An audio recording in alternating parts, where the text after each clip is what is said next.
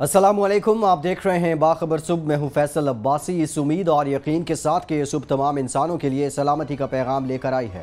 آپ کی صبح کو، آپ کے دن کو باخبر بنانے کے لیے ہم حاضر ہیں۔ میرے ساتھ اسٹوڈیو میں موجود ہیں سینئر صحافی نامور تجزیہ کار ایڈیٹر روزنامہ ninety two news, Rao Khalid صاحب، بہت شکریہ راؤ صاحب، آپ کے وقت کا۔ ان کے ساتھ موجود ہیں سینئر صحافی، اداروں کے اندر کیا کھلبلی ہے، کیا اچھا ہے، کیا برا ہے، سب پہ ان کی نظر ہے۔ سہیل اقبال بٹی صاحب، بہت شکریہ بٹی صاحب، آپ کے وقت کا بھی۔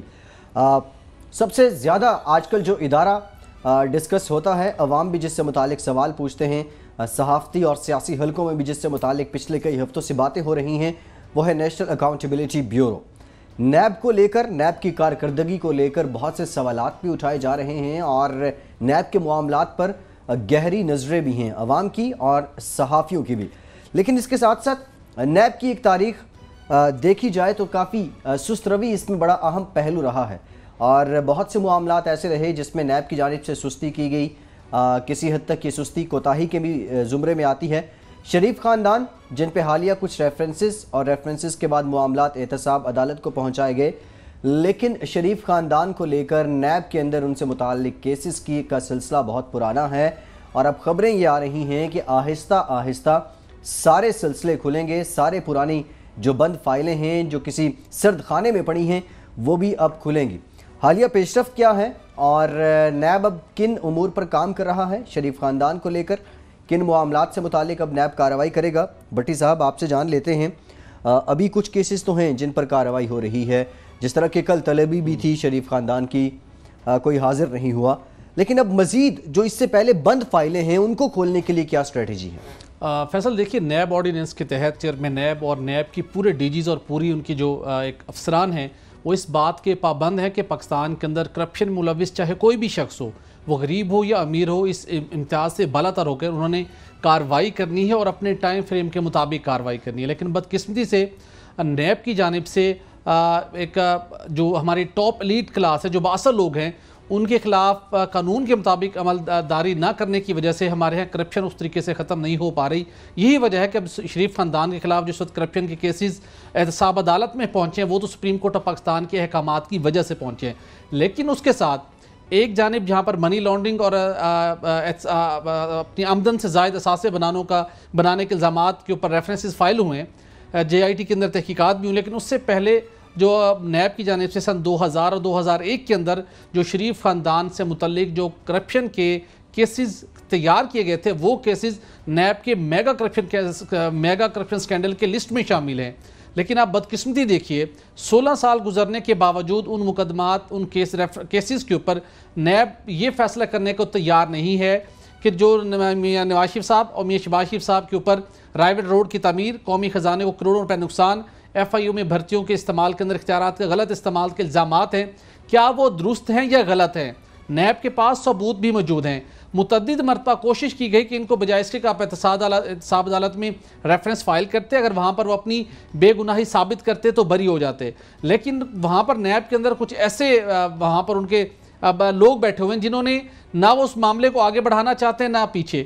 آٹھویں مرتبہ اس ان کیسز کی دوبارہ ڈیڈ لائن مقرر کی گئی ہے، جو کہ رواں مہینے کی تیس ستمبر کی تاریخ ہے۔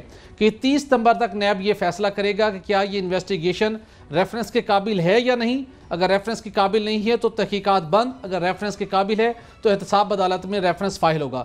تیس ستمبر کی آٹھویں ڈیڈ لائن ہے۔ کوئی پوچھنے والا نہیں ہے کہ آپ سارا کام کر رہے ہیں، ساری ایفرٹ کر رہے ہیں۔ آپ ایک ٹائم بھی ویسٹ کر رہے ہیں اور میگا سکینڈل کے اندر آپ نے شخصیات کا نام بھی رکھا ہوا یا تو ان کا نام کے خلاف نام کو نکال دیجیے یا ان کے خلاف ریفرنس فائل کیجیے۔ اس کے ساتھ کچھ اور کیسز اہم کیسز بھی ہیں جو اس لسٹ میں شامل ہیں۔ جی۔ ان کی ڈیڈ لائن بھی تیس ستمبر تک توسیع کر دی گئی ہے جس کے اندر چودھری شجاعت صاحب کے کیسز ہیں چودھری پرویز لائی کے کیسز ہیں سابق وزیر راجہ پرویز صاحب کا کیسز ہے ان کے اوپر بھی اختیارات کا غلط استعمال اور آمدن سے زائد اثاثے بنانے کا الزام ہے۔ دوسری جانب جو ہم نے بات کی تھی گزشتہ روز اپنے پروگرام میں کہ جو ریفرنس فائل ہو چکے ہیں احتساب عدالت میں شریف خاندان احتساب عدالت میں ٹرائل کے لیے پیش ہونے کو تیار نہیں ہے۔ اب اس کے بعد ہم نے دیکھا کہ گزشتہ روز شام کو مریم نواز صاحبہ کی جانب سے ٹویٹ ہوا اور انہوں نے آفیشلی اس بات کو ڈکلیئر کر دیا ہے کہ نواز شریف صاحب اور شریف خاندان کے باقی لوگ احتساب عدالت میں پیش نہیں ہوں گے۔ یعنی وہ قانون جس کی وہ پاس داری کی بالادستی کی بات کرتے ہیں سویلین بالادستی کی بات کرتے ہیں خود آپ باثر ہو کہ اگر آپ بے گناہ ہیں تو آپ کو اپنی بے گناہی وہاں ثابت کرنی ثابت کرنی چاہیے، لیکن آپ نے بائیکاٹ کر دیا ہے کہ ہم طاقتور ہیں، آپ ہمیں جو کچھ کر سکتے ہیں کر لیے، کر لیں، ہم آپ کے اس احتساب کے عمل کا حصہ نہیں بنیں گے۔ اس کے ساتھ ایک امپورٹنٹ پوائنٹ نیب کی سٹوری ہے چیئرمین نیب نے دو روز قبل کوئٹہ کا دورہ کیا اور وہاں پر انہوں نے اس نیا بلوچستان سے متعلق انہوں نے کہا کہ دو ہزار سترہ کے اندر انہوں نے آؤٹ سٹینڈنگ پرفارمنس کا مظاہرہ کیا ہے۔ اور ان کو انہوں نے اپنے گریڈنگ سسٹم کے تحت کچھ نمبرز بھی دیے کہ کرپشن کے خلاف بڑے مؤثر اقدامات کیے ہیں۔ وہی نیب جس کے متعلق سپریم کورٹ آف پاکستان کا کہنا ہے کہ وہ نیب بلوچستان بلوچستان میں کرپشن کا فیسلیٹیٹر بن چکا ہے۔ ٹھیک۔ اور سب سے حیران کن بات یہ چیئرمین نیب نے جو انہوں نے پرفارمنس رپورٹ سائن کی ہے نیب بلوچستان کی گئے وہ کوئٹہ تھے کہ نیب کوئٹہ کا دورہ کریں گے لیکن جو انہوں نے پرفارمنس رپورٹ سائن کی ہے جو ان کی ڈی جی نیب عرفان منگی سے ملاقات ہوئی ہے وہ کوئٹہ میں واقع فائیو سٹار ہوٹل میں ہوئی ہے ملاقات۔ وہیں پر بیٹھ کر انہوں نے پرفارمنس رپورٹ کا جائزہ لیا ہے۔ وہیں بیٹھ کر انہوں نے سگنیچر کیے ہیں۔ لیکن تاثر یہ دیا ہے کہ نیب بلوچستان نے نیب کوئٹہ نے بلوچستان کے اندر کرپشن کے خاتمے کے لیے بڑا مؤثر کاروائی کی ہے۔ ٹھیک۔ راؤ صاحب آپ سے میں جاننا چاہوں گا ایک تو یہ ڈیڈ لائن پہ ڈیڈ لائن سامنے آ رہی ہے اور دوسرا جو پاکستان کا نظام انصاف ہے اس کے اندر ایک بہت بڑا کویسچن مارک سپیڈی جسٹس بھی ہے۔ لیکن بہت سے کیسز ایسے ہیں کہ جن کا بھی فیصلہ نہیں ہو سکا ریفرنس دائر ہونا یا نہیں۔ یہ سپیڈی انکوائری کیوں نہیں ہو پاتی؟ اس میں کیوں کمی رہ جاتی؟ دیکھیں، اس میں جو نیب آرڈیننس ہے، اس میں باقی لاز میں بھی پرسکرائبڈ ہے۔ نیب کے لاء میں تو پرٹیکولرلی ٹائم لیمٹ پرسکرائبڈ ہے کہ کتنے عرصے میں آپ نے کمپلیٹ کرنی ہے تفتیش، کتنے عرصے میں آپ نے ریفرنس فائل کرنا ہے، کتنے عرصے میں ڈیسیجن ہونا چاہیے اس کا۔ وہ ساری چیزیں بڑی ڈیٹیل سے موجود ہیں۔ اس کی پرپیچول وائلیشن کہلے ہو رہی ہے، ہر کیس میں تقریباً ہو رہی ہے۔ بات یہ ہے کہ جب بھی کوئی بڑے بندے کا کیس آتا ہے، یہ نیب کے جو ہے نا پاؤں جلنے شروع ہو جاتے ہیں۔ ان کے ہاتھ پاؤں پھول جاتے ہیں اور ہانپنا کانپنا یہ شروع کر دیتے ہیں کہ پتہ نہیں اب کیا ہوگا، یہ کہیں وزیر اعظم نہ بن جائے، یہ کسی اہم عہدے پہ نہ آ جائے بندہ۔ تو ان کو پریشانی لاحق ہو جاتی ہے۔ یہ اس لیے پھر لوپ ہولس خود نکالتے ہیں، اس میں لٹکاتے چلے جاتے ہیں کیسز کو، یہ ایویڈنس نہیں ملی، وہ چیز نہیں ملی۔ پہلے تفتیش کے مرحلے پہ انکوائری کے مرحلے پہ، پھر انویسٹیگیشن کے مرحلے پہ، پھر ریفرنس کی تیاری پہ مرحلے پہ، پھر فائلنگ اس کے بعد وہاں پہ پروسیڈنگز تو مل جل کے سارے اللہ کے فضل سے احتساب عدالتوں پہ بھی ہائر کورٹس کو نظر رکھنی چاہیے، ان کو دیکھنا چاہیے، کس طرح سے وہ اس کو کرتے ہیں۔ بات سیدھی سی ہے، اگر کوئی بھٹی صاحب نے ٹھیک کہا کہ اگر کسی کے خلاف کوئی کیس بنتا ہے، مقدمہ بنتا ہے، تو سترہ سال کس بات کا آپ انتظار کرتے ہیں؟ اگر نہیں بنتا، پھر بھی سترہ سال آپ کس چیز کا انتظار کر رہے ہیں؟ رکھ کے بیٹھے ہوئے ہیں۔ آپ چلو بنتا ہے آپ چھ مہینے سال میں دائر کر دیں۔ سترہ سال آپ لے کے بیٹھے ہوئے اس کا ابھی اب تک کمپلیٹ نہیں ہو رہا آپ سے کیس۔ اس کے بعد اگر نہیں بنتا تو اس کو فوری طور پہ فارغ کریں اس کو کہیں گے جی ٹھیک ہے نہیں بنتا کہ کسی نے اپیل کرنی ہے یا کوئی چیلنج کرنا ہے وہ کر دے جا کے کورٹ میں۔ تو ختم کریں نا نہیں بنتا پھر بھی سترہ سال لے کے بیٹھے ہوئے بنتا ہے پھر بھی سترہ سال لے کے بیٹھے ہوئے تو اس پہ ان کے لاء کے اندر میرا خیال امینڈمنٹ ضروری ہے۔ کہ جو بھی ایسے کیسز جن کو دبا کے بیٹھ جاتا ہے نیب اس کے حوالے سے کوئی نہ کوئی پنشمنٹ ہونی چاہیے ریپریمانڈ ہونا چاہیے ان کو ورنہ یہ تو اسی طرح سے لٹکاتے رہیں گے۔ جہاں تک یہ میاں صاحبان کی بات ہے ابھی جو وہ وہ مفرور ہو چکے ہیں تقریباً ساری فیملی ہی۔ جی۔ تو وہ اس طرح سے وہ میرا خیال ہے کہ وہ بیٹھے اس چکر میں بیٹھ گئے جا کے کہ دو ہزار کی طرح اب بھی کوئی ڈیل شیٹ کو ہو جائے گی کوئی این آر او مل جائے گا کوئی معاملہ طے ہو جائیں گے یا کوئی مناسب موقع آئے گا واپس آئیں گے پھر ان کو کر لیں گے۔ اور ٹرائل میں بھی شاید اس لیے شامل ہی ہونا چاہتے۔ کیونکہ ون سائیڈڈ ہوا تھا جی ہم کیا کریں؟ تو سپریم کورٹ میں اپیل کریں گے وہ ری اوپن کرائیں گے۔ ری اوپن کرا کے زرداری صاحب کی طرح پھر اپنا ٹائم بائی کریں گے اور اس کے ساتھ ساتھ اپنے سلسلے ختم کروا لیں گے۔ لیکن ایک چیز وہ بھول رہے ہیں شاید جو ابھی بالکل تازہ ہے کہ ود ان پارٹی جو چیزیں چل رہی ہیں جس طرح سے معاملات چل رہے ہیں اس میں شاید بہت مشکل ہے یہ صورتحال۔ اب یہ دو سال چار سال سات سال کا سات سال کا انتظار نہیں ہو سکتا بالکل وہ بہت زیادہ سنگین ہے۔ وہ سات سال کا انتظار اگر ان کا خیال ہے کہ کچھ ہو جائے گا سات سال بعد تو وہ نہیں ہونے لگا۔ اس کا سب سے بہتر حل ایک ہے جو میں بار بار کہتا ہوں اپنے ایویڈنس لے کے آئیں کورٹ میں آ کے سرخ رو ان کو کہیں جی یہ ساری پڑھی ہیں چیزیں آپ ہمیں ڈسکوالیفائی کر رہے ہیں ہمیں۔ برا بلا کہہ رہے ہیں۔ یہ ہر چیز پڑھی ہے ساری اور پناما کیس کا پوری بھرپور طریقے سے سامنا کریں۔ اور یہ ایک بڑے بڑے اسٹریٹجیکلی انہوں نے بڑا امپورٹنٹ کھیل کھیلا ہے۔ ایک انٹرنیشنل ایونٹ تھا پناما جس کی وجہ سے یہ ساری چیزیں ہوئی ہیں۔ اس کو نکال کے بالکل ڈومیسٹک پالیٹکس میں اس کو انہوں نے لے آئے ہیں۔ انٹرنل پالیٹکس اور اس کا حصہ اس کو بنا دیا بنیادی طور پہ۔ حالانکہ یہ انٹرنیشنل یہ ہے۔ اور آئی سی آئی جی ریگولرلی فالو کر رہا ہے۔ پورے کیسز کو جب پیشی ہوتی ہے وہ اپنے اپڈیٹ کرتے ہیں ٹویٹس میں بھی اپنی ویب سائٹس میں بھی۔ ٹھیک راؤ صاحب آپ نے ود ان پارٹی میٹرز کا تذکرہ کیا ہے۔ اگلی خبر بھی کچھ ایسی ہے۔ وزیر خزانہ اسحاق ڈار صاحب بھی لنڈن میں موجود ہیں۔ نواز شریف صاحب سے ان کی ملاقات بھی ہوئی ہے، کچھ باتیں بھی کی گئیں، کچھ شکوے، کچھ گلے بھی سامنے آئے ہیں۔ بٹی صاحب، آپ سے میں جاننا چاہوں گا، ایک تو اس ملاقات کا ایجنڈا کیا رہا اور دوسرا، اب متنازع بھی ہے شخصیت اسحاق ڈار صاحب کی، ظاہر ہے نیب ان کے معاملات کو لے کر بھی عدالت میں ہے۔ تو کوئی کیا نیا وزیر خزانہ بھی آنے والا ہے؟ فیصل، دیکھیے، شریف خاندان کے ساتھ جہاں پر ان کے خلاف نیب میں ریفرنسز تیار کر کے احتساب عدالت میں فائل کیے، وہاں پر ان کے لیے مشکلات بنی، وہیں پر اسحاق ڈار صاحب کے خلاف بھی احتساب عدالت میں ریفرنس دائر ہوا اور آج احتساب عدالت اسلام آباد انہیں طلب کر رکھا ہے اور آج وہ بھی شریف خاندان کی حکمت عملی کے مطابق وہ بھی آج پیش ہونے کو تیار نہیں ہیں، لنڈن میں موجود ہیں۔ لیکن وہ چاہتے تھے کہ وہ اپنے ان کا، ان کی کیس کی نوعیت تھوڑی سی قدرے مختلف ہے۔ شریف خاندان سے متعلق وہ اس کیس کو کنٹیسٹ کرنا چاہتے تھے، جو ایک ریفرنس فائل ہو چکا ہے آمدن سے زائد اثاثے بنانے کا۔ تاہم انہیں روکا گیا کہ ابھی فی الوقت آپ اس میں اپیئر نہ ہوں۔ اس کے ساتھ دوسرا جو سب سے بڑا پریشان کن صورتحال آنے والے دنوں میں بننے جا رہی ہے، وہ ہدیبیہ پیپر مل کیس جو ہے دوبارہ کھلنا ہے۔ اس کے اندر شریف خاندان کے اوپر ذمہ داری عائد ہو یا نہ ہو، جو اسحاق ڈار صاحب کا معاملہ ہے ان اس کے بہت ڈفرینٹ کانسیکوینسز ہیں۔ جو انہوں نے اپنے، جو اپنے، جو وعدہ معاف، گواہ بنے تھے، جو ان کا جو ان کا بیان تھا، اگر وہ درست تھا تو پھر بھی اس کے، اس کی اس کی، اس کے اثرات ہیں۔ اگر وہ غلط تھا اور انہوں نے اس کے اقرار کیا تو دین بھی اس کی قانون کی روشنی میں، نظر میں اس کے بہت سے اس کی امپلیکیشنز ہیں۔ تو لہٰذا وہ کچھ عرصہ پہلے بھی انہوں نے کوشش کی تھی کہ وہ اپنے معاملات کو دیکھنا چاہتے ہیں اور وہ حکومتی امور سے اپنے آپ کو سائڈ الگ کرنا چاہتے تھے۔ لیکن اس وقت بھی کچھ معاملات تھے پارٹی کے اندر، جس جس کی وجہ سے ان کے اوپر عدم اعتماد کا اظہار کیا گیا تھا۔ ان کے کچھ اقدامات کو شکوک کی نگاہ سے دیکھا گیا تھا۔ بہت سے معاملات کے اندر شک کیا گیا تھا۔ جس کی وجہ سے انہیں بہت سے جب ابھی جے آئی ٹی کی رپورٹ سپریم کورٹ میں جمع نہیں ہوئی تھی تو مریم نواز صاحبہ کی جانب سے ایک اجلاس کے اندر نواز شریف صاحب سے کہا گیا تھا کہ ڈار انکل کو جے آئی ٹی کی جانب سے ابھی تک نوٹس جاری کیوں نہیں ہوا کہ وہ بھی آ کر پیش ہوں۔ کیا یہ دونوں جانب تو یہ نہیں کھیل رہے؟ تو اس کے بعد بہت سے جو مشاورتی اجلاس تھے، ان میں انہیں بدو کرنے کا سلسلہ بند کر دیا گیا تھا۔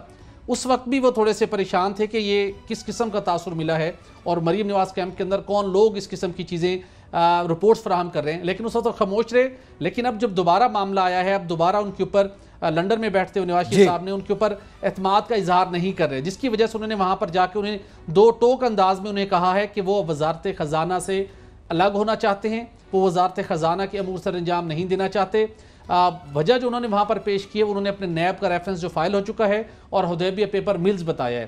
لیکن ذرائع یہ کہتے ہیں کہ ڈار صاحب ان کے اوپر جو نواز شریف صاحب اور مریم نواز صاحبہ کی جانب سے جس قسم کا عدم اعتماد کا اظہار کیا جا چکا ہے اور مسلسل انہیں سائڈ لائن کیا گیا ہے۔ تو وہ سمجھتے ہیں کہ ایسے حالات کے اندر وہ انہیں پارٹی کا حصہ نہیں رہنا چاہیے حکومت کا حصہ نہیں رہنا چاہیے۔ اور اگر حالات یوں ہی رہے تو اس بات کے اوپر بھی غور کر رہے ہیں کہ شاید وہ سیاست سے ہی کنارہ کشی کر لیں۔ تو آنے والے دنوں کے اندر کہا یہ جا رہا ہے کہ کچھ دنوں کے اندر وزارت خزانہ کا وہ ادھر چھوڑ سکتے ہیں۔ مفتہ اسماعیل صاحب کو کہا گیا کہ آپ اپنے ایکٹیو ہوئیے وزارت خزانہ کے اندر۔ اور ایک بڑے میڈیا ہاؤس کے مالکان نے بھی جب انہیں پتہ چلا کہ وزارت خزانہ کا جو قلمدان ہے تبدیل ہو سکتا ہے انہوں نے بھی اپنی ایفرٹس شروع کر دیے۔ کچھ لوگ ان کی نظر میں ہیں اور کچھ اور لوگوں نے بھی اپنی لابنگ شروع کر دی مریم نواز کیمپ کے اندر کہ کس کو وزیر خزانہ لگوایا جائے۔ لیکن آنے والے دنوں۔ کے اندر انہیں ان کی جانب سے وزارت خزانہ چھوڑنے کا کبھی امکان موجود ہے۔ راؤ صاحب آپ سے جاننا چاہوں گا اسحاق ڈار اگر وزارت خزانہ چھوڑ دیتے ہیں تو متبادل نام کون سے ہیں جو زیر غور ہیں؟ دیکھیں مفتہ اسماعیل کا تو بھٹی صاحب نے ذکر کر دیا۔ وہ یقیناً ہے اور ان کا اچھا ایکسپیرینس بھی ہے کارپوریٹ سیکٹر میں رہے لیکن ایک دو ایشوز ہیں جن پہ میرا خیال ہے وہ نومینیشن ان کی تھوڑی سی ڈیفیکلٹ ہو جائے گی۔ ایک تو یہ ہے کہ کچھ بہت سنجیدہ قسم کے سیریس قسم کے آپ کو سٹیپس لینے ہیں۔ اسحاق ڈار صاحب تو جھوٹ کی پٹاری کھول کے بیٹھے ہوئے تھے۔ روز ایک نیا اس میں سے بچہ جمہورہ نکال کے دکھا دیتے تھے کہ یہ جناب اکانومی یہ ہوگی اور اب یہ یہ فلان نکل آیا، بچہ جمہورہ ایک ادھر سے نکل آیا، کچھ۔ تو وہ اس قسم کے وہ سارا وہ پٹاری انہوں نے بنائی ہوئی تھی ایک اپنی۔ اس میں کر رہے تھے وہ بالکل بیڑا غرق کر کے وہ چلے گئے ذاتی دوستوں کو اہم عہدوں پہ لگا کے۔ ان سے مزید بیڑا غرق کیا، انہوں نے پورا کنٹرول رکھتے تھے۔ اسٹیٹ بینک ہو، خاص طور پہ ایف بی آر ہو، اس قسم کے داروں نیشنل بینک کے جیسے سعید صاحب ہیں، لگے ہوئے وہاں پہ۔ تو وہ، لیکن مفتہ صاحب اگر ہوتے ہیں تو ان کا جو سٹرکٹ فیصلے جب آپ نے لینے ہیں تو اس میں میں بھی جو کاروباری حلقے ہیں ان میں کچھ انریسٹ کریٹ ہو۔ تو مفتہ صاحب کی اتنی بیک نہیں ہے اتنی پش نہیں ہے پیچھے سے کہ وہ اس کو ہینڈل کر سکے پراپرلی یا اس کو فیس کر سکے یا ان کو روک سکے۔ تو اس طرح کی کارپوریٹ سیکٹر سے بھی ان کی بیکنگ اس طرح کی جی۔ نہیں ہے کہ وہ کر سکے۔ نو ڈاؤٹ وہ ٹھیک بندے ہیں اس معاملے میں۔ دوسرا ہماری ہے agri based economy sixty seven to seventy percent ہمارا ایگریکلچر بیسڈ ہے۔ اور نواز شریف صاحب نے بڑا غرق کیا ایگریکلچر کا اپنے پورے دور حکومت میں اور بہت برا نقصان ہوا کسانوں کا بھی اور جو اس سے ریلیٹڈ انڈسٹری ہے۔ تو اس میں جو اس وقت سب سے سوٹیبل کینڈیڈیٹ میرے حساب سے لگتے ہیں بزرگ ہیں، اگرچہ سرتاج عزیز صاحب ہیں۔ انہوں نے جو نائنٹیز میں بنائی تھی ایگریکلچر بیسڈ ساری اکانومی جو ایگری ڈریون تھی، وہ ابھی تک اس کی بہت سارے پہلو امپلیمنٹ ہو رہے ہیں۔ تو اس وقت سب سے زیادہ سوٹیبل اگر آپ کو ہو سکتا ہے بندہ تو وہ سرتاج عزیز صاحب ہو سکتے ہیں۔ آئی ڈونٹ نو کس طرح سے اس کرتے ہیں۔ جہاں تک ان کے چھوڑنے کی بات ہے، یہ بھٹی صاحب کی انفارمیشن ٹھیک ہو سکتی ہے، لیکن جس قسم کے یہ بندے ہیں، یہ چھوڑنے والے نہیں ہیں اس طرح سے، اتنی آسانی سے۔ یہ پاسبلٹی ہے، وہاں پہ ڈسکشن ضرور ہوئی ہے۔ یہ پاسبلٹی ہے کہ پرائم منسٹر نے کہا ہو کہ جی اس کے ہوتے ہوئے نہیں معاملہ چل سکے۔ خقان ابائی صاحب پرسنلی ان کو جانتے ہیں، ان کے سارے کرتوت جانتے ہیں۔ اور خود بھی اکانومی کو سمجھتے ہیں، ان کو پتہ ہے انہوں نے کس طرح بیڑا کر کیا ہوا ہے۔ تو انہوں نے شاید ریکویسٹ کی ہو کہ جی بھائی صاحب کو ذرا سائڈ پہ ہو جائے۔ ہم نے کچھ کرنا ہے۔ لیکن اس ڈار صاحب کے لیے کوئی آسان وقت نہیں ہے۔ ایک تو بھٹی صاحب نے جو کہا سیاست چھوڑ دیں گے اس کا مطلب ہے وہ دوبارہ ان کا وعدہ معافگواہ والا سٹیٹس بحال ہونے جا رہا ہے۔ کیونکہ اگر سیاست چھوڑیں گے تو وہ وعدہ معافگواہ بننے کے لیے پہلے تو سب دباؤ تھا۔ اب تو کہتے ہیں کوئی دباؤ نہیں ہے آزادی اس وقت بھی آزادی سے کیا تھا اب بھی آزادی سے کریں گے۔ اب وہ اپنا صاحب سکور سیٹل کریں گے جو ان کے ساتھ ہو رہا ہے آج کل نا۔ اس کا بھی صاحب سیٹل کرنا انہوں نے۔ دوسری ایک بریکنگ نیوز میں آپ کو دے دوں جو میری اطلاع ہے۔ کہ شاید کل وہ پیش ہوں یا اس سے پہلے یا اس کے بعد کسی وقت کوئی اسٹیٹ بینک کو ڈائریکشن چلی جائے نیب لاہور کی طرف سے کہ ان کے اکاؤنٹ فریز کر دیجیے سارے جتنے بھی ہیں حجویری مداربہ حجویری ٹرسٹ وغیرہ اور باقی جو کمپنیاں ان کی۔ اس قسم کی میری اطلاع ہے کہ کوئی تیاری ہو رہی ہے ان کے اکاؤنٹ فریز کرنے کی۔ اساق ڈار صاحب کے۔ چلیں دیکھتے ہیں کل یا پرسوں میں کیا انسٹرکشنز آتی ہیں۔ اگلی خبر کی جانب بڑھتے ہیں۔ سی پیک سب کی نظریں اس پہ۔ پاکستانیوں کی نظریں پاکستان سے باہر لوگوں کی نظریں سی پیک کے بہت سے دشمن بھی بہت سے مخالف قوتیں بھی۔ لیکن اس کو لے کر اب کچھ اچھی خبریں سامنے نہیں آ رہی ہیں اور اس کی بنیادی وجہ پاکستان کا سیاسی ماحول اور بالخصوص حکمران جماعت کی اداروں کے ساتھ ٹکراؤ کی پالیسی ہے۔ بٹی صاحب پاکستانی قوم کو بڑی امیدیں ہیں سی پیک سے۔ لیکن اب کیا معاملات ہیں؟ اطلاعات کچھ اچھی نہیں ہیں۔ ان پاکستانی قوم کی امیدوں پر پانی کیوں پھرنے جا رہا؟ فیصل، دیکھیے، سی پیک کا جو فرسٹ فیز تھا، وہ تو امپلیمنٹ ہو چکا جو کہ توانائی کے شعبوں سے متعلق تھا، اس میں سکسٹی سیونٹی پرسینٹ لیکن اس کے ساتھ صرف توانائی کے منصوبے نہیں، اور بہت سے منصوبے ہیں۔ وہ انفراسٹرکچر کے اندر موجود ہیں، وہ ٹرانسپورٹ کے اندر موجود ہیں، وہ ایگریکلچر کے اندر موجود ہے جن کے اوپر بہت سپیڈ کے ساتھ کام ہو رہا تھا۔ جن کے نتائج رزلٹس ہمیں بعد میں ملنے تھے۔ اگر ان میں بھی تاخیر ہوتی ہے تو الٹیمیٹلی اکانومی نے اس کو سفر کرنا ہے۔ لیکن ہوا کیا، جب یہ پناما کیس کی معاملات شروع ہوئے ہیرنگ شروع ہوئی، پھر جے ٹی میں بات گئی، رپورٹ سامنے آ گئی۔ تو ایک بہت غیر یقینی صورتحال بنی تھی کہ نہ جانے اگر نواز شریف صاحب نہ اہل ہوگے تو کیا ہوگا۔ لیکن اداروں کی اور سپریم کورٹ آف پاکستان کا جتنا کلیئر فیصلہ تھا اور صدر پاکستان کو باضابطہ آرڈر کیا گیا تھا کہ آپ جمہوری عمل کے تسلسل کو برقرار رکھنے کے لیے جو قائد ایوان کا انتخاب ہونا ہے، اس کے لیے پروسیس کیجیے۔ اور الٹیمیٹلی سارا کچھ ہوا۔ حکومت وہاں پر موجود ہے، مسلم نون کی ہی۔ ادارے وہاں پر تمام موجود ہیں وفاقی وزارتیں موجود ہیں۔ لیکن بدقسمتی کے ساتھ ہمارے مختلف پاکستان کے وہ لوگ وہ طاقتیں جو سی پے کے مخالف تھیں، جو اس منصوبے کے اندر رکاوٹیں ڈالنا چاہتی تھیں، وہ کسی اور طریقے سے تو کامیاب نہیں ہو پا رہی تھیں۔ انہوں نے دہشت گردیوں کے حملے کروائے، بلوچستان کے اندر اور کام کیے۔ لیکن سی پیک منصوبہ چلتا رہا۔ لیکن حکومت موجود ہے۔ سیاسی غیر یقینی صورتحال اس وقت پیدا ہوئی جب حکمران جماعت کی جانب سے جس قسم کے اداروں سے متعلق بیانات سامنے آئے۔ حکمران جماعت کے رہنماؤں کی طرف سے ملکی سسٹم کے اوپر جس قسم کے تحفظات کا اظہار کیا گیا، اس چیزوں نے چین کو تشویش سے مبتلا کر دیا ہے۔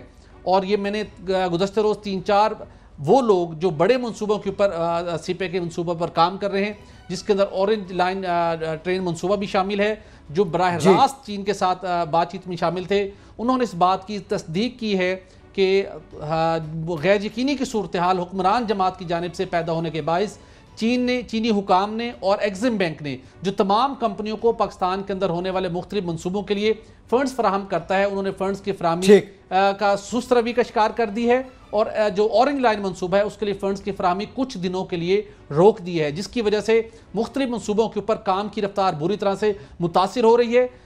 حکام کا یہ کہنا تھا کہ آئندہ دس سے بارہ روز بہت زیادہ اہم ہے۔ چین کے اندر پاکستان کی ساری صورتحال کو بہت ڈیپلی اس کا جائزہ لیا جا رہا ہے کہ کس طریقے سے معاملات کو آگے بڑھانا ہے، جو منصوبے جاری ہیں، ان کے اوپر کیا اسی پیس سے کام کرنا ہے اور جو فیوچر کے منصوبے مٹیریلائز ہونے تھے، ان کو کیا اسی گورنمنٹ کے ساتھ کنٹینیو کرنا ہے یا نہیں کرنا؟ ان تحفظات اور خدشات کی وجہ سے فنڈز کی فراہمی متاثر ہوئی ہے۔ کام کچھ جگہوں پہ کام رک گیا ہے، کچھ جگہوں کے اوپر کام سست روی کا شکار ہے۔ وجہ صرف ایک ہے جو مختلف وفاقی وزراء کی جانب سے اور مسلم نون کی لیڈرشپ کی جانب سے جس قسم کے بیانات سامنے آئے ہیں۔ میرے خیال میں چینی حکام کو انہیں کانفیڈنس دینا چاہیے اور وہ منصوبے جن کو ہم سائن کر چکے ہیں جو جاری ہیں ان کے اندر ڈیلے نہیں ہونا چاہیے۔ دیگر منصوبوں کی طرح کوئی بھی منصوبہ اگر ایک دن بھی ڈیلے ہوتا ہے اس کی کاسٹ قومی خزانے نے بھگتنی ہے اس عوام نے بھگتنی میکل میں جو منصوبے جاری انہیں مقررہ وقت پر مکمل ہونا ہر صورت مکمل ہونا چاہیے۔ ٹھیک۔ راؤ صاحب یہ جو خطرے کی گھنٹی بج رہی ہے اس کا جواب دینے کے لیے اور اس کو اس خطرے سے نکلنے کے لیے کیا ہماری بھی کوئی حکمت عملی ہے پاکستان کی حکومت کی، وفاقی حکومت کی، پنجاب حکومت کی؟ دیکھیں میرا خیال ہے بہت سیریس میٹر یہ نہیں ہوگا کیونکہ یہ ایک لانگ ٹرم پروجیکٹ ہے اور اس میں گرنٹر بڑے تگڑے تگڑے گرنٹر ہے اس میں اور جو آپ نے کہا پانی پھرنے جا رہا ہے عوام کی امیدوں پہ، عوام کی امیدوں پہ کوئی پانی پھرنے نہیں جا رہا۔ جن کی امیدوں پہ پانی پھرنا تھا وہ پھر گیا ہے۔ لیکن یہ ایک قدرتی امر تھا جب ایک گورنمنٹ جو سٹنگ گورنمنٹ جو ڈیل کر رہی تھی سارے معاملات سے اور جو ان کے اپنے فرنٹ بینوں کے ذریعے ڈیل کر رہی تھی اور جو کچھ ان میں سے بھاگ گئے ہیں منظر سے، کچھ ابھی موجود ہیں۔ وہ سیاسی کشمکش جو نون لیگ کے اندر گیا اس میں ابھی دیکھ دیکھ رہے ہیں کہ کیا ہوتا ہے۔ تو وہ جو بیچ میں گڑبڑ کر رہے تھے لوگ مختلف منصوبوں کی وجہ سے اوریجنلی جو سی پیک شروع ہوا تھا، اس کی شیپ بہت چینج ہوگی۔ اوریجنلی تھا کاریڈور آپ کا جو پورٹ اور پلس آپ کے جو اکنامک زونز بننا تھے انڈسٹریل زونز بننا تھے۔ وہ بیسیکلی تھا اس سارے کاریڈور کے اوپر۔ کاریڈور پہ سارا جھگڑا سنتے رہے، سارا۔ یہ پاور پلانٹ یہ میٹرو یہ اورنج ٹرینز یہ تو بعد میں کراپ پاپ اپ ہونی شروع ہوئی، یہ چیزیں ساری۔ تو میرے خیال ہے، ان ان منصوبوں کی حد تک جو یہ صوبے یا اس طرح سے کر کے جو پرسنل لیول پہ جا کے لوگوں نے لیے کے پی کے نے بھی لیے ہیں شاید سندھ نے بھی کیا ہے یا پنجاب نے کیا اس حد تک شاید کوئی امپیکٹ ہو۔ لیکن مین کور جو پروجیکٹ ہے، میرا خیال ہے وہ بہت زیادہ متاثر نہیں ہوگا۔ ایٹین بلین بلین کے پروجیکٹ کل سفیر صاحب بتا رہے تھے چائنا کے کہ ایٹین بلین ڈالر کے پروجیکٹس ایگزیکیوٹ ہو چکے ہیں آلموسٹ تو وہ ظاہر ایٹین بلین ڈالر چھوڑ کے چائنیز نہ جانے لگے، نہ ہم ان کو جانے دیں گے۔ تو وہ تو چلے گا۔ ہمارا بار بار میرا ایشو وہی ہے کہ ہم ہم کتنے تیار ہیں؟ ہم کس حد تک اس سارے کام کو کیش کرنے کے لیے تیار ہیں؟ اگر ہم چائنا اور جنوبی کوریا کی پرٹیکولر ایگزامپل لیں، انہوں نے ہیومن کیپٹل پہ بہت انویسٹمنٹ کی۔ ہیومن ریسورس اپنا جو ڈیولپ کیا انہوں نے اس پہ بہت زیادہ انہوں نے انویسٹمنٹ کی۔ فزیکل کیپٹل تو آپ بنا رہے ہیں انفراسٹرکچر بنا رہے ہیں سارا کچھ بنا رہے ہیں۔ اس کی سپورٹ کے لیے اگر آپ کے پاس لوگ نہیں ہوں گے ہیومن کیپٹل نہیں ہوگا ٹرین ویل ٹرین تو آپ کس طرح سے اس کو کیش کرا سکیں گے اس سارے پروجیکٹ کو؟ اس لیے مجھے سب سے بڑا خدشہ وہ ہے یہ نہیں ہے کہ میاں صاحب کے جانے کے بعد کوئی بہت بڑا کوئی اس میں بریک لگ جائے گی یا خرابی ہو جائے گی۔ بریک تو لیکن ایک دن کی تاخیر بھی اس کے اکنامک اکنامکل امپیکٹ ہے اس کا فینینشل لاس ہے۔ وہ نہیں ہونا چاہیے۔ حکومت موجود ہے وزارتیں موجود ہیں۔ اداروں کے ساتھ جو ٹکراؤ ہو رہا ہے نہ صرف سی پیک کے منصوبے بلکہ دیگر جو صنعتکار اور تاجر پاکستان آنا چاہتے ہیں یا صنعت کو فروغ دینا چاہتے ہیں، وہ بھی اس کی وجہ سے سفر کرتے ہیں اور بہت سے لوگ پھر اپنی پلاننگ اپنی اسٹریٹجی کو بدلتے ہیں اور پھر وہ سرمایہ کہیں اور جا کے لگاتے ہیں۔ ایک بریک کا کہا جا رہا ہے بریک کے بعد کچھ دیگر معاملات پہ بھی بات کریں گے، ہمارے ساتھ رہیے گا۔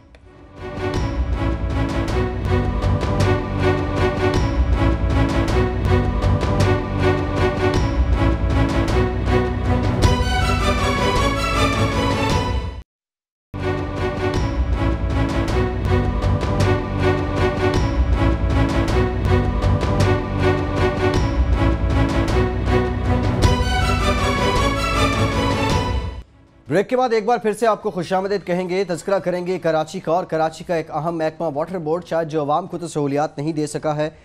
کراچی کے بہت سے علاقے ایسے ہیں جہاں آج بھی پانی کی قلت ہے اور لوگ پانی کی بوند بوند کو ترستے ہیں، لیکن اس محکمے کے اندر کے کچھ معاملات بھی اچھے نہیں ہیں۔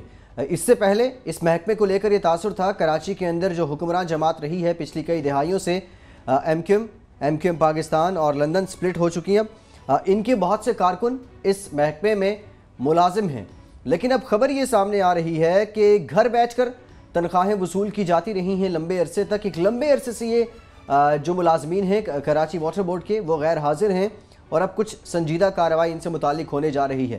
راؤ صاحب، یہ بات کسی سے ڈھکی چھپی نہیں ہے کہ ایم کیو ایم پاکستان اور ایم کیو ایم لندن اب جو دو دڑوں میں ہے ایون پی ایس پی بھی، ان کے لوگ واٹر بورڈ میں ملازمین رہے ہیں۔ لیکن سوال یہ ہے کہ کیا یہ لوگ گھروں میں بیٹھ کے جماعت کے کام سر انجام دیتے تھے جو اپنے دفتر نہیں جاتے تھے، کام نہیں کرتے تھے؟ دیکھیں یہ صرف وہ وہ لوگ ہیں جو صرف اپنے پارٹی کا کام کرتے تھے، اصل کام نہیں کرتے تھے، ان کو بھرتی اس لیے کرایا جاتا تھا، مجھے یاد ہے، یہاں پہ ان کو ایک منسٹری دی گئی تھی سینٹر میں جب جب نواز شریف صاحب آئے تھے، تو اس وقت یقین کریں کوئی بچے لگتے چودہ سال کا، تیرہ سال کا کوئی پندرہ سال کا، وہ سارے کو اسمبلی میں ہاؤسنگ منسٹری تھی ان کے بعد، اس میں سارے وہ بچے پھر رہے ہوتے تھے اس طرح سے۔ تو ان سے پوچھا جاتا کہ عمر کتنی ہے؟ کوئی کہتا ہے یہ اٹھارہ سال ہے، کوئی ساڑھے اٹھارہ سال، کوئی انیس سال۔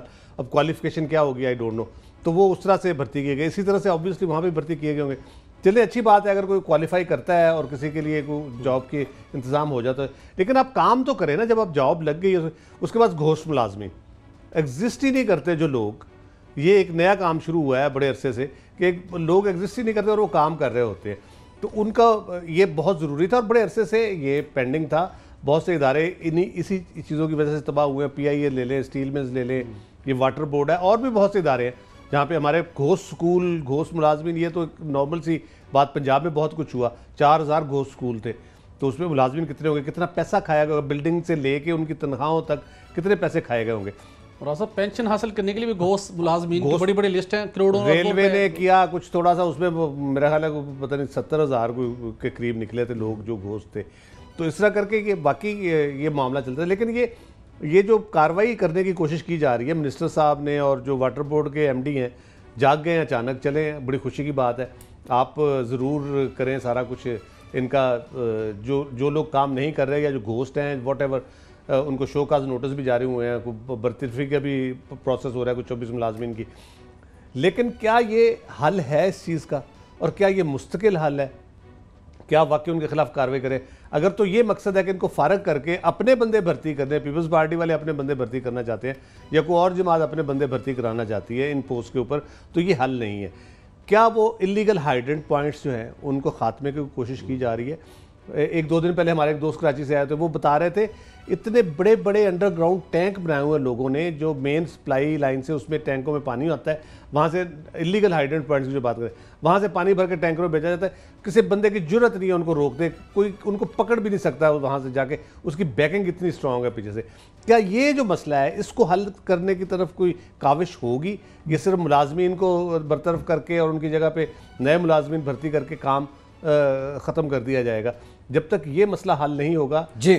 غیر قانونی ہائیڈرنٹ پوائنٹ کا پراپر سپلائی کا جوڈیشل سپلائی کا، اور بیس بیس ہزار کا ٹینکر یار کون خریدے گا بھائی بیس ہزار کا ٹینکر ایک بندہ خرید لے گا، دو خرید لیں گے، دس بندے مل کے خرید لیں گے، ایک دفعہ خرید لیں گے مہینے میں۔ تو کس طرح سے وہاں پہ گزارا ہوگا؟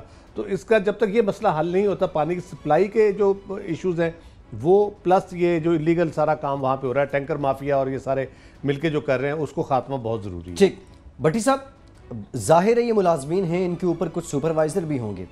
پھر اس کے اوپر مڈل لیول مینجمنٹ ہوگی، پھر ٹاپ لیول پھر ایگزیکٹو یہ ان سب لوگوں کا کیا کام ہے؟ ان کو کیا خبر نہیں ہوتی کہ ہمارے جو ماتحت لوگ ہیں، وہ آتے ہی نہیں ہیں دفتر؟ فیصل ان کا کیا کام ہے؟ ان کا کام یہ ہے کہ یہ دن بھر زبردست قسم کے فرنشڈ آفیسز میں بیٹھ کے پورے دن کراچی کی بے بس عوام کا نظارہ کرتے ہیں کہ وہ کس طریقے سے پانی کی حصول کے لیے ترس رہے ہیں۔ یہ سارا دن بیٹھ کے یہ نظارہ کرتی ہیں ٹی وی اسکرین پر رپورٹس چلتی ہیں کہ کن کن علاقوں کے اندر کتنے دنوں سے پانی کی فراہمی معطل ہے۔ ایکسپلائٹ کرتے ہیں یہ وہاں پر بیٹھ کے یہ مانیٹرنگ کرتے ہیں جو مختلف غیر قانونی ہائیڈرنٹس بنے ہوئے ہیں۔ جہاں پر ایسے کچھ ہائیڈرنٹس بھی موجود ہیں جہاں کے اوپر ان کی افتتاح کی وہاں پر باضابطہ تختیاں لگی ہوئی ہیں وزیر بلدیات کے نام کے اوپر وہ انلیگل ہیں۔ وہاں یہ بیٹھ کے دیکھتے ہیں کہ کس طریقے سے دھڑلے کے ساتھ ٹینکرز کے ٹینکر بھر کے وہاں سے پانی کی سپلائی کر رہے ہیں۔ اور وہاں پر پھر جب ان سے سوال ہوتے ہیں ان افسران سے، تو وہ بتاتے ہیں کہ کراچی کے اندر یومیہ بنیادوں کے اوپر غیر قانونی طریقے سے پانی کی جو فروخت کی جاتی ہے، پانچ سے سات کروڑ روپے کی کلیکشن ہے۔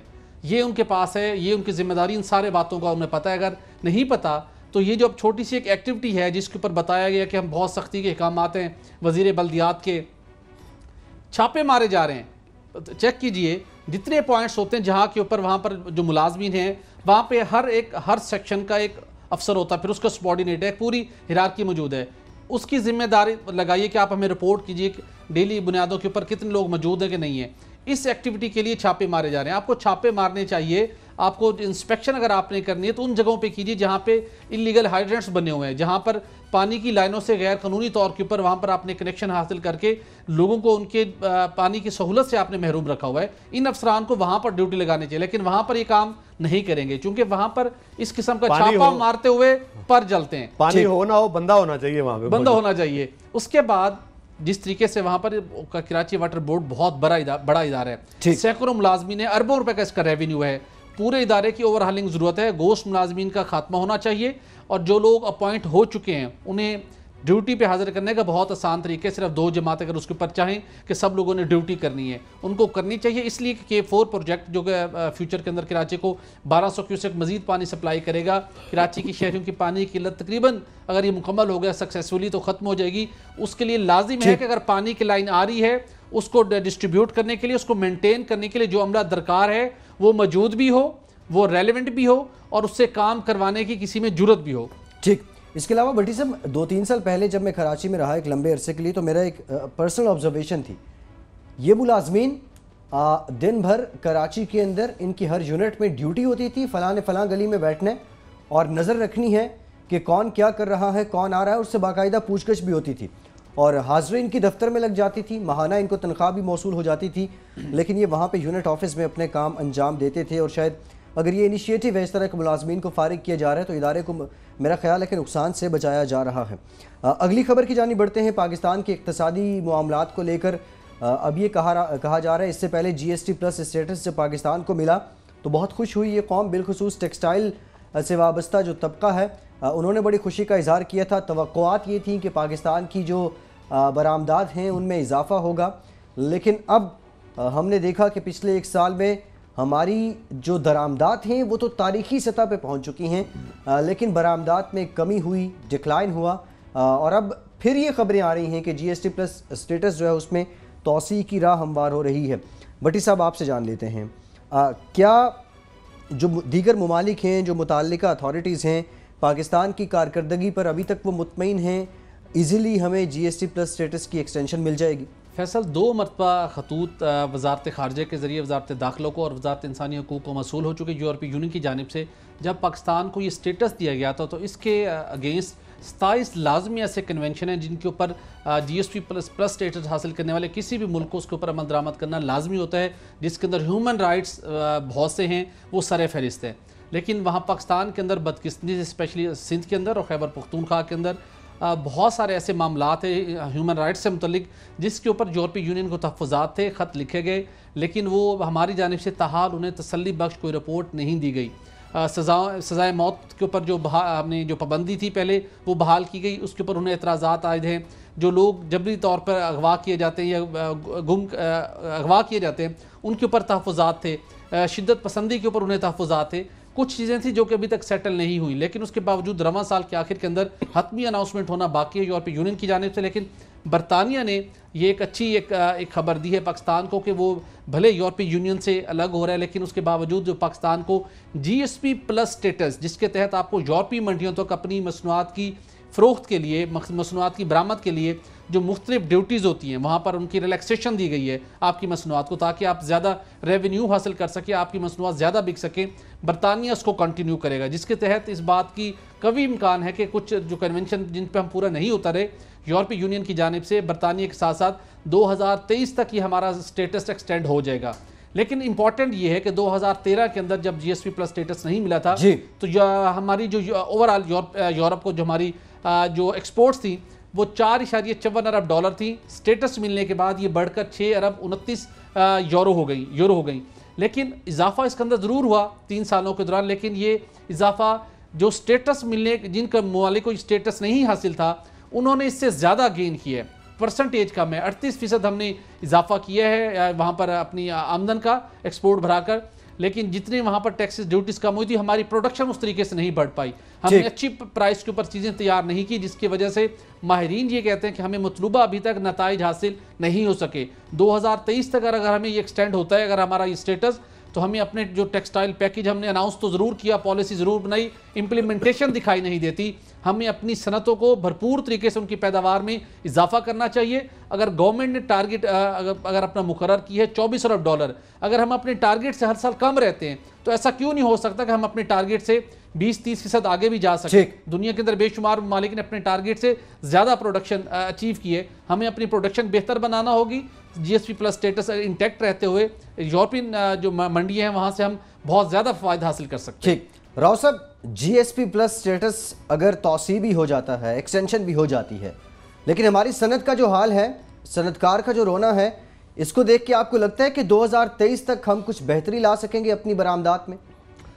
دیکھیں مجھے نہیں لگتا کہ اس سے کوئی بہت بڑا فائدہ ہمیں ہوگا۔ یہ ہم کب تک یہ ان کی مہربانیوں پہ چلتے رہیں گے۔ کبھی ہمیں کوٹا سسٹم میں فائدہ دے کے، کبھی جی ایس پی پلس دے کے۔ دو ہزار اٹھارہ آنے والا ہے، پھر دو ہزار تیئیس بھی آ جائے گا۔ وہ بھی گزر جائے گا، اس کے بعد پھر آپ کیا کریں گے؟ کیا ہم اپنی صنعت کو اس قابل بنا رہے ہیں کہ اس مقابلے کا ہم وہ مقابلہ کر سکیں خطے میں، جس قسم کا کمپٹیٹیونیس ہے پرائز وائز ہے پروڈکٹ کی کوالٹی کے حساب سے ہے انٹرنیشنل مارکیٹ کو گریب کرنے کے حوالے سے کیا ہم اپنے زور پہ بھی کوئی حصہ لینے میں کامیاب ہوں گے یا ہم اسی طرح سے منتے ترلے کر کے کہ جی اب یہ سٹیٹس دے دیں، اب وہ سٹیٹس دے دیں، اب اتنا کوٹا ہمیں دے دیں؟ تو یہ اس طرح سے نہیں ہوگا۔ دنیا میں کوٹا سسٹم ختم ہو گیا، اب اب جی ایس پی پلس پہ چل رہے ہیں۔ کب تک؟ دو ہزار تیئیس تک؟ میرا نہیں خیال کہ دو ہزار تیئیس تک بھی آپ چل پائیں گے کیونکہ یہ ڈپینڈنسی ہے۔ جس طرح انہوں نے بہانے بنانے شروع کیے ہوئے ہیں مختلف چیزوں کے اوپر ہیومن رائٹس ٹھیک ہے ہیومن رائٹس وائلیشن نہیں ہونی چاہیے کہیں پہ بھی نہیں ہونی چاہیے۔ پاکستان کا اوور آل بہت اچھا ہے پرفارمنس ہیومن رائٹس کے حوالے سے۔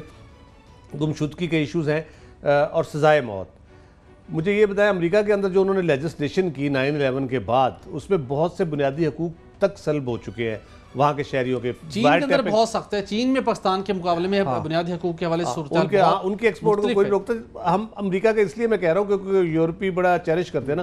اپنی ساری پروڈکٹس وہاں بیچتے ہیں ان امریکہ کے سر پہ ان کی ساری اکانومی چل رہی ہے وہاں اپنی پروڈکٹس بیچ بیچ کے چلاتے ہیں۔ تو وہاں پہ کیا سزائے موت نہیں ہے؟ کئی سٹیٹس میں ہے سزائے موت۔ اس کے بعد جس طرح سے انہوں نے امینڈمنٹس کی وائر ٹیپنگ اور ساری چیزیں لوگوں کو اٹھا لیا جاتا ہے جب مرضی کو اٹھا لے۔ تو وہ اس پہ ان کو کوئی اعتراض نہیں ہوا۔ یہ اس لیے میں کہتا ہوں کہ ڈپینڈنسی ہے۔ آپ کو کوئی بھی بہانہ بنا کے کسی وقت بھی وہ کہیں گے جی جی ایس پی پلس ہم نہیں دیتے آپ نے تو فلاں بندے کو پھانسی دے دی سارے۔ ہمارے اپنے پیکولر سچویشن ہے۔ اگر ہم سزائے موت بحال نہ کرتے جس ٹیررزم کی ویو کا ہم سامنا کر رہے تھے وہ سنامی کی طرح میں بہا کے لے جاتی۔ یہ تو ہم نے ہمت کی اس کو روکا فورسز نے ہمت کی جی۔ بڑی کمٹمنٹ دکھائی۔ اس کے بعد یہ سزائیں ہوئی ہیں تو تھوڑا سا ڈیٹرنس کا کام انہوں نے کیا۔ تب جا کے یہ بحال ہوا ہے۔ لیکن ہمیں اپنی جو یہ ٹائم اگر مل گیا آپ کو دو ہزار تیئیس تک، تو خدا کے لیے صنعت کاروں سے بھی ریکویسٹ ہے، حکومت سے بھی ریکویسٹ ہے کہ یہ اتنا بڑا شعبہ ہے، اتنا بہترین شعبہ ہے، ہم دنیا کو لیڈ کر رہے تھے ایکسپورٹ میں، اس شعبے میں۔ تو ہم نے اپنا بیڑا غرق کر لیا ہے۔ کہاں تک ہم آ گئے ہیں تو اس کو بہتر کریں۔ آپ کی ٹیکسٹائل انڈسٹری جو باہر شفٹ ہوئی ہے، وہ بھی واپس آ جائے گی۔ آپ کے جاب جنریشن اتنی زیادہ ہوگی۔ پھر چائنا آ رہا ہے، چائنا کو خود ضرورت ہے بہت زیادہ۔ چائنا کے اندر ڈیمانڈ بڑھ رہی ہے ٹیکسٹائل کے حوالے سے بہت زیادہ بڑھ رہی ہے۔ ہم اس کی ہیلپ کر سکتے ہیں اس کو سی پیک کے ساتھ میوچل ہمارا بڑا اچھا ریلیشن شپ ہے۔ ہم وہاں پہ بھی بھیج سکتے ہیں یہ چیزیں یہ اس سے کہیں زیادہ ہم چین میں بھیج سکتے ہیں جتنا ہم G S P plus quota کے تحت بھیجیں گے۔ تو ہمیں اپنی انڈسٹری کو سٹرونگ کرنے کی ضرورت ہے بنیادی طور پر۔ فیصل امپورٹنٹ پوائنٹ جہاں پر ہمارے ہاں یہ صورتحال ہے اور ہمیں اسٹیٹس موجود ہے۔ اس اسٹیٹس کے ہوتے ہوئے ہمارے ہاں ساٹھ سے ستر ٹیکسٹائل صنعتیں ایسی ہیں جو کہ انتہائی کم پروڈکشن پر چل رہی ہیں اور وہ کسی بھی وقت بند ہو سکتی ہیں۔ یہ بڑی الارمنگ سچویشن ہے۔ آخر کیوں ایسا ہوتا ہے؟ آلریڈی انڈسٹری بند بھی ہو چکی ہے۔ ایک سروے ایک اندازے کے مطابق دس لاکھ لوگ بے روزگار ہو گئے ہیں پاکستان میں صنعتیں بند ہونے کی وجہ سے۔ خیر اگلی خبر کی جانب بڑھتے ہیں جی۔ فیڈرل بورڈ آف ریونیو سے متعلق یہ خبر ہے۔ اور اس سے پہلے بڑے دعوے کیے جاتے رہے۔ فیڈرل بورڈ آف ریونیو کی جانب سے کہ ہم نے بہت سے لوگوں کو ٹیکس نیٹ میں لایا ہے۔ ہم ٹیکس کلیکشن میں اضافہ کر رہے ہیں، ریونیو میں اضافہ کر رہے ہیں، لیکن یہ سب باتیں ہی لگیں، یہ سب خواب ہی لگے، یہ سب دعوے ہی لگے۔ اور حقیقت ایسے ہے کہ بہت بڑی بڑی کمپنیز ایسی ہیں جو فیڈرل بورڈ آف ریونیو کو ٹیکس نہیں دے رہی ہیں۔ بٹی صاحب، آپ سے جاننا چاہوں گا کتنی یہ کمپنیز ہیں اور کس تناسب سے یہ ٹیکس نہیں دے رہی ہیں؟ کون سے ٹیکس ہیں جہاں یہ ڈنڈی مار رہی ہیں؟ فیصل، ٹیکس چوری کی مختلف طریقے کار ہیں۔ ایک تو مختلف کمپنیاں ہیں، یہ انڈیویجولز ہیں، وہ ٹیکس یا تو چھپاتے ہیں یا چوری کرتے ہیں۔ اس کے ساتھ ایک اور طریقہ کار یہ بھی اڈاپٹ کیا جاتا ہے کہ مختلف ایسے کمپنیاں اور ایسے ادارے جو کہ ایف بی آر کے لیے بطور ود ہولڈنگ ایجنٹس کا طور کے اوپر کام کرتے ہیں کہ فار ایگزامپل مختلف کارپوریٹ سیکٹرز کی کمپنیز ہیں، وہاں پر اتنے ملازمین کام کرتے ہیں۔ ان کی تنخواہوں سے جو انکم ٹیکس ہے، وہ متعلقہ کمپنی براہ راست کٹوتی کرتی ہے۔ اس کے بعد اس کمپنی کی ذمہ داری ہے کہ وہ ایف پی آر کے اندر وہ نہ صرف وہ ٹیکس جمع کروائے، بلکہ اس ٹیکس کے اگینسٹ انہیں جو اپنے ان کے امپلائیز ہیں، ان کو وہ جو ٹیکس قومی خزانے میں وہ جمع کرواتے ہیں، ان کا انہیں ریکارڈ دے اور جب وہ ریٹرن فائل کریں تو ایف پی آر تاکہ اس دونوں چیزوں کو کاؤنٹر چیک کر سکے۔ ایک ملازم نے کتنی تنخواہ حاصل کی، کتنی اس کی کٹوتی ہوئی اور کمپنی نے جو ٹیکس کٹوتی کی، کیا ٹیکس کاٹا، کیا وہ اس نے قومی خزانے میں جمع کروایا یا نہیں؟ لیکن یہ انکشاف اس طریقے سے ہوئے کہ ایف بی آر کے جو ان کے ممبر آئی ٹی ہیں، انہوں نے ایک انسپیکشن کی۔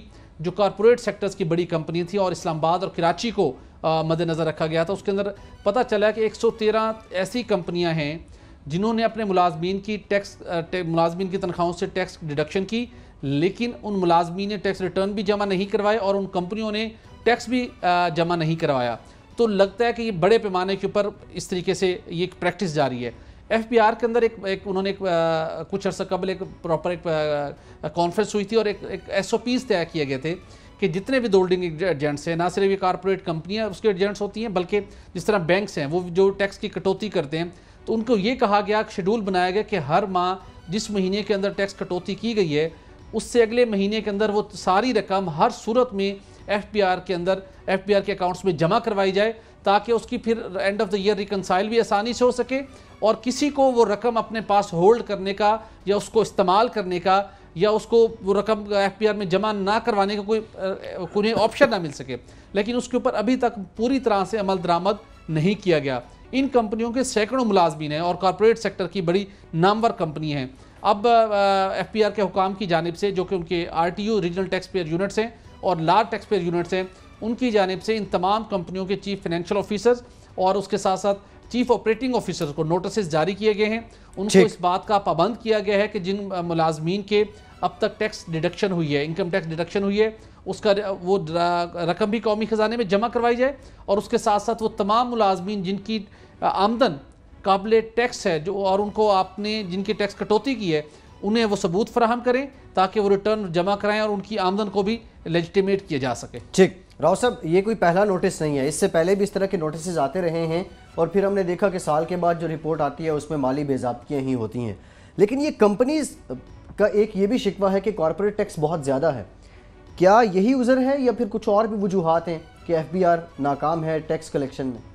دیکھیں ٹیکسز تو بہت سے ہیں۔ اب ان کو اعتراض کارپوریٹ ٹیکس پہ کاسٹ آف ڈوئنگ بزنس کہتے ہیں پاکستان میں مہنگی ہے اس میں یہ کارپوریٹ ٹیکس وغیرہ یہ چیزیں ہوتی ہیں۔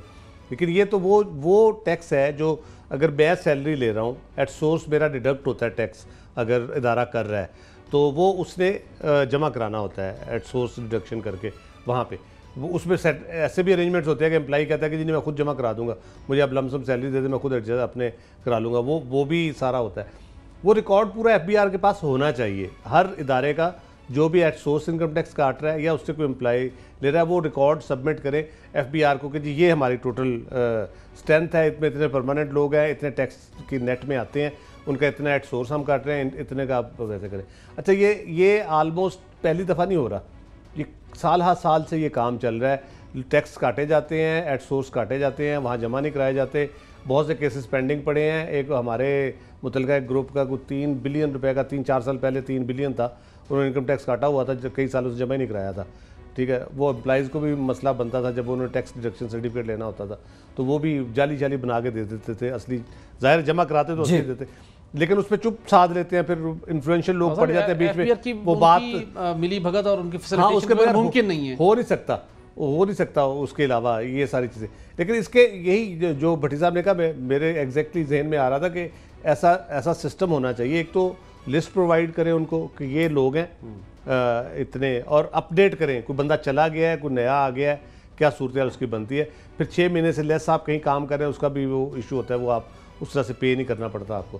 تو وہ ساری چیزیں ہونی چاہیے۔ پھر ریگولر بیسس کے اوپر جیسے آپ ڈیڈکٹ کرتے ہیں منتھلی نہیں تو کوارٹرلی ڈپازٹ ہونا چاہیے۔ ہوتا یہ کہ at the end of the year اتنا زیادہ پیسے بن جاتے ہیں وہ ڈیڈکشن جو ہے تو وہ سم ٹائمز یہ بھی ہوتا ہے کہ وہ ادارہ کہتا ہے کہ اتنے یہ کوئی ساٹھ ستر اسی لاکھ روپیہ بن گیا تو یہ فی الحال ہولڈ کر لے یوز یوز کر لے اس کو کہیں پہ ادھر ادھر کر لے تھوڑا بہت۔ دینا تو پڑتا ہے یہ یہ نہیں ہو سکتا کہ نہ دے کیونکہ وہ آپ کی سیلری سے کٹا ہوا ہوتا ہے وہ آپ نے ایٹ سورس دینا ہوتا ہے ورنہ ان کے پاس سارا حساب کتاب ہوتا ہے۔ میں نے جب اپنے ٹیکس ریٹرن جمع کرانے اس میں ان کے پاس آ جائے ریفلیکٹ ہوئے بٹی صاحب جیسے کرے دوسری دوسرے اینڈ سے چیک ہو جائے گا کہ اس نے ٹیکس جمع کرایا ہے اس کا ٹیکس کلیم کر رہا ہے اپنا ریٹرن میں تو جس ادارے نے کاٹا ہے اس سے وہ پوچھیں گے جا کے۔ کہ جی آپ نے یہ کاٹا ہے یہ بندہ تو کلیم کر رہا ہے اس طرح سے۔ ٹھیک۔ وہ پھر وہاں پہ آ کے پھنس ہی جاتے ہیں آخر پہ۔ ٹھیک۔ لیکن پوچھ دیں گے کہ تھوڑی جرت کرے ہاں یہ یہ تو کرنے کی ضرورت ہے اس میں آخری آخری خبر کی جانب بڑھتے ہیں۔ روہنگیا مسلمانوں کا تذکرہ کرتے ہیں۔ آنگ سان سوچی نے اقوام متحدہ کی جنرل اسمبلی میں اجلاس کے بجائے قوم سے خطاب کو ترجیح دی ہے۔ قوم سے خطاب کا سہارا لیا گیا ہے آنگ سان سوچی کی جانب سے۔ اور جس میں یہ کہا گیا ہے کہ کسی قسم کا عالمی دباؤ قبول نہیں کیا جائے گا۔ راؤ صاحب، آپ کی جانب آتے ہیں۔ ہردرمی برقرار ہے آنگ سان سوچی کی جانب سے، اور عالمی قوتیں دباؤ بھی ڈال رہی ہیں۔ اگر یہ دباؤ آنگ سن سوچی کا جو انداز ہے، جس طرح یہ ریفلیکٹ کر رہی ہیں، آپ سمجھتی ہیں کہ رخائن کے اندر حالات بہتر ہوں گے؟ دیکھیں، ایک تو یہ عالمی دباؤ قبول کرنے سے صاف انکار جو کہا جا رہا ہے، یہ آپ کو ہمارے جیسا کوئی صحافی ہے جو ان کو بڑھا چڑھا کے پیش کر رہا ہے۔ جی بڑی جناب دبنگ خاتون ہے۔ اگر ایسی کوئی بات ہوتی تو وہ فرار نہ ہوتی یو این کی جنرل اسمبلی یہ فرار ہے، یہ انکار نہیں ہے بنیادی طور پہ، عالمی دباؤ سے۔ ابھی فرینچ پریزیڈنٹ نے جو تقریر کی ہے کل، وہاں پہ جس طرح سے اس نے لتاڑا ہے، یہ بیٹھی ہوتی، وہاں پہ تو ان کو پتہ چلتا کہ عالمی برادری کس طرح سے سوچی صدر میکرون جو ہیں، ان کے، انہوں نے بہت دبنگ تقریر کی ہے۔ روہنگیا مسلمانوں کے حوالے سے۔